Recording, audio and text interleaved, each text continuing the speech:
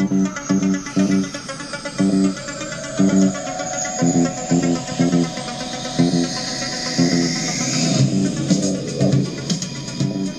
Rider, a shadowy flight into the dangerous world of a man who does not exist.